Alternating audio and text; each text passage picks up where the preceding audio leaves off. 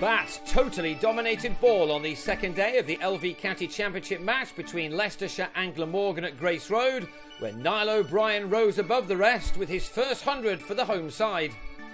Leicestershire began the second morning on 221 for 4 with both O'Brien and captain Josh Cobb approaching their 50s. O'Brien was there first with a cracking hit through the covers, which carried the Irishman to his half century off 62 balls, from which he'd struck five boundaries. Cobb followed suit with a firm straight drive which took him to his first 50 for some while. He didn't manage one at all in 18 championship innings last year. He'd needed 78 deliveries for his, from which he'd found the boundary rope on 10 occasions. All was going along rather nicely for Leicestershire in their first home game of the summer, and before too long this pair had helped their side beyond 250. Glamorgan were missing Michael Hogan, who was on paternity leave, although it would be fair to say that even a man of his talents may have found it difficult to extract too much from this excellent batting surface. Cobb was looking to press on when he drilled a ball from Dean Cosker back to the bowler, who clung on well to remove Cobb for 63 at 257 for 5. Cobb and O'Brien had added 120 for the fifth wicket, and now it was O'Brien who took over this game. He too struggled with the bat in his first season in Leicestershire colours last summer, when his top score was 67 from the 23 championship innings he had.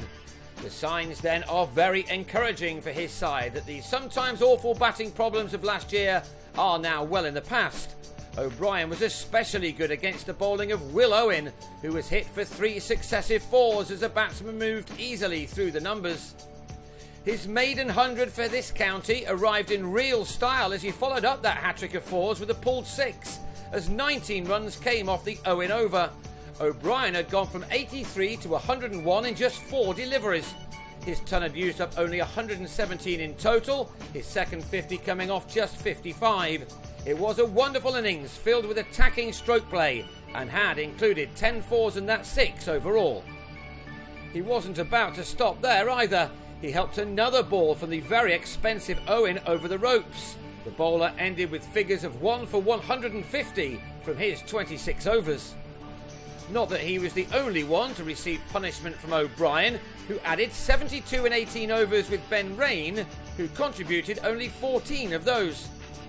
He was the sixth man out with the score on 329 when he went after a wide ball from John Glover to offer Jacques Rudolph a catch at slip. O'Brien's own innings of excellence was ended after lunch when he went on the pull again but picked out Murray Goodwin. From 141 balls, O'Brien had made 133 out of his side's 343 for 7. With the Irishman now back in the pavilion, Glamorgan must have been hoping to finish off the Leicestershire innings without too many problems. But another left-hander in the shape of Rob Taylor now got in their way. Again, the runs came in a hurry as Taylor took on Cosker and hit him for three boundaries in three balls. Getting to 400 inside 110 overs for a full quota of batting bonus points was a rather simple task for a side who did not have many days like this with the bat last year.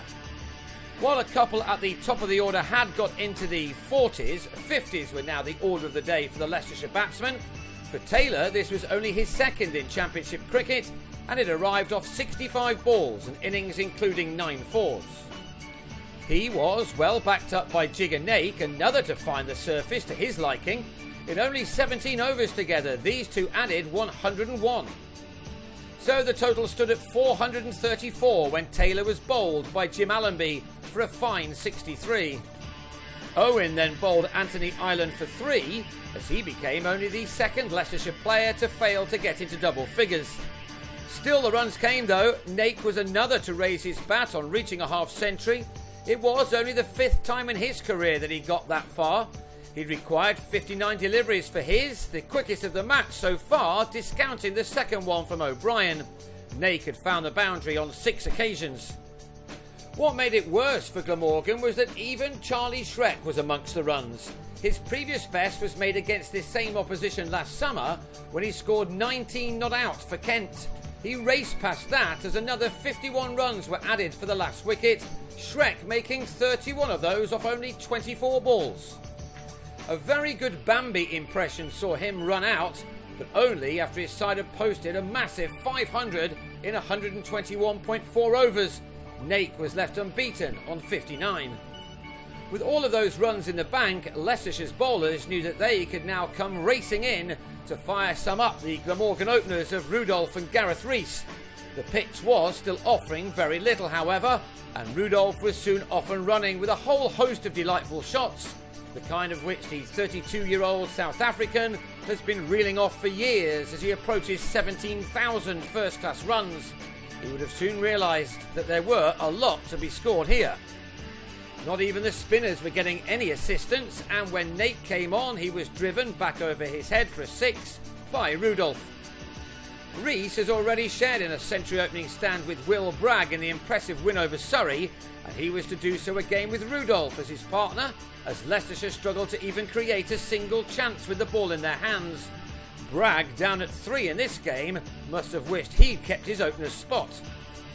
Both men eased to their 50s before the close, Rudolph there first with his ninth four to go with that six. He'd needed 101 balls for his, but you feel that this was just the start for a man with so much experience.